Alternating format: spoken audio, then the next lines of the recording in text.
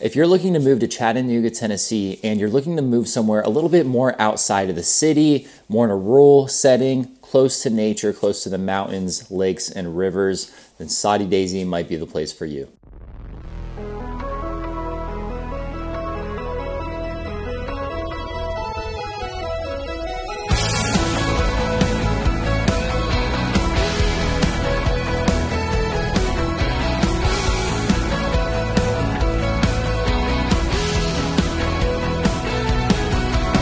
Hey guys, welcome back to the channel. Evan Barron here, and on this channel we go over all things Chattanooga, what it's like to live, eat, sleep, play, work here, and I am a licensed realtor. So, as much as I love making these videos, I love helping you guys with your real estate needs even more. So, in any of the ways down below, feel free to contact me and I'll be happy to help. Let's get on with the video. So, today we are going over Soddy Daisy, Tennessee.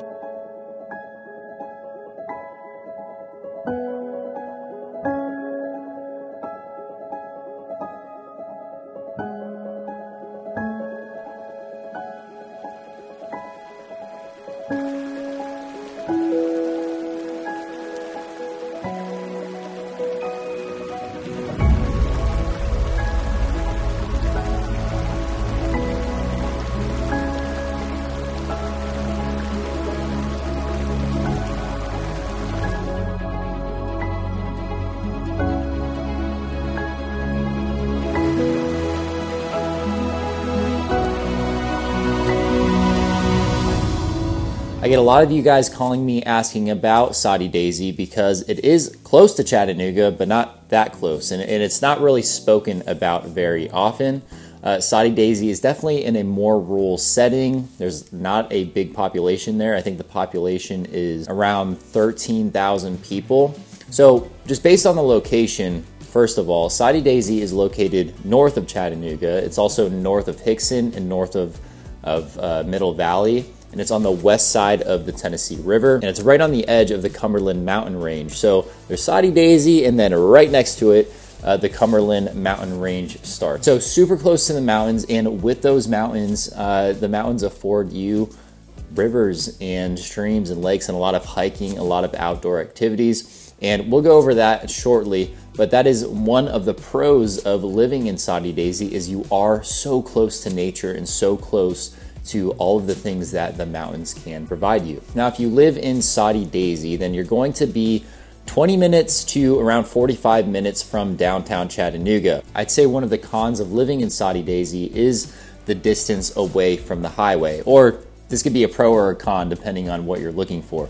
But if you're looking for ease of travel, then it's definitely a con living in Soddy Daisy because you don't have I 75 that you can just get on and, and get on the highway. You have Interstate 27, which you have to get on to go downtown, and then Interstate 27 meets I 75 in order to go those longer distances. So the commute times are going to be a little bit longer when you are living in Soddy Daisy. Now, the average home price in Soddy Daisy is going to set you back around $285,000, and that is priced at $180 per square foot. Now, the average home price in Chattanooga is 320,000. So in Soddy Daisy, you know, you're trading the distance from downtown and the distance from the city for more house for your money. And that is one of the advantages of living in Soddy Daisy. Yes, you're going to be a little bit farther from the city, your commute times are going to be a little bit longer.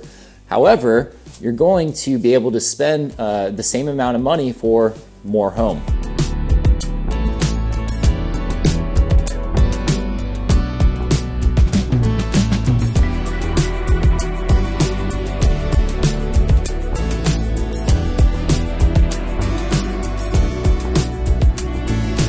I recently had a client who was looking to stay a little bit closer to the city uh, because they didn't want to commute very long. But in the price range, we were looking at homes from 250,000 to around $320,000. And the homes that were closer to the city, they just did not like at all. So we decided to expand our location a little bit. So we looked at homes in Soddy Daisy and we ended up uh, going under contract and buying a home in Soddy Daisy because the houses that you can get, you can get a lot more for your money. And so they decided that that was way more important than buying a, a smaller home closer to the city. When you're looking at things to do in Soddy Daisy, you have to remember that, again, you're not very close to downtown Chattanooga. You're going to be in a more outdoor setting, uh, which is great for a lot of people who are actually looking to move here. A lot of times I'll get calls from people and be like, hey, I love the outdoors. I want to be super close to hikes and rivers and waterfalls and, and things of that nature. And so a lot of times I point them to Soddy Daisy and that area because in Soddy Daisy, what people do often is they go hiking, they go swimming, uh, they go uh, mountain biking. A lot of road bikers in that area as well. In that area, you have Big Soddy Creek Gulf. Uh, you have the Blue Hole, which is one of my favorite places to go during the summer because when we have those hot and humid summers, you can go to the Gulf, go to Soddy Daisy, and go to the Blue Hole and go swimming in the river, go cliff jumping, and, and that type of thing. And it's super refreshing because the water in the river is not very warm, it's actually very cold, but it's super refreshing when that water is cold and it's really hot outside. Uh, and it's a great time to have with friends and family. Now, when it comes to shopping and restaurants in Soddy Daisy, you're not going to have that many options, right?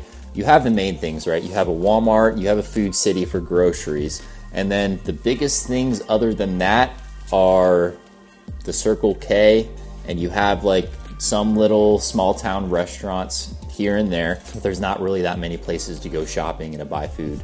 There's not really many options in Soddy Daisy. However, you know, Hixson and Middle Valley is not that far away. So you can just drive 10 to 15 minutes down to Hixson, and they have pretty much everything that uh, you can imagine.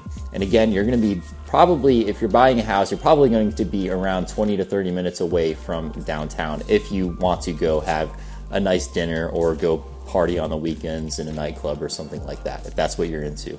Uh, but Soddy Daisy, you're not going to be doing any of those things. Something that I will mention as well if you are moving out to Soddy Daisy or in a more rural area in general here in Tennessee, the people are going to be a little bit more conservative, right? So you're going to be uh, seeing a little bit, probably more guns, right? There's going to be people who carry guns. Um, and that's something to consider. It's not something to worry about at all, but if you're coming from somewhere like California or a more uh, liberal state where you don't see that as often in Tennessee, you're going to see it a little bit more often. Now, it's not like people are just open carrying all the time, you're going to see guns everywhere. But you know, guns are part of the culture here. So if you're moving to the sticks or if you're moving to more rural areas, that's just how it's going to be.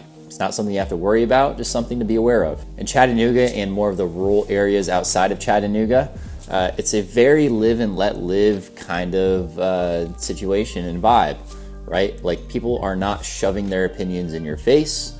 Just do your thing and I'll do my thing. That's how it goes around here. So that is Soddy Daisy, Tennessee. There's not much to talk about. An overview, it's more rural, there's more outdoor activities to do. Uh, there, it's very close to the mountains, different streams and rivers. So it's a very beautiful place, as you can see from the footage in this video. So, if you are looking to move to Soddy Daisy or anywhere in Chattanooga, uh, here's my contact information down below. I am a realtor, uh, so I would be happy to help you with any of your real estate needs. And yeah, I'll see you in the next one. Peace.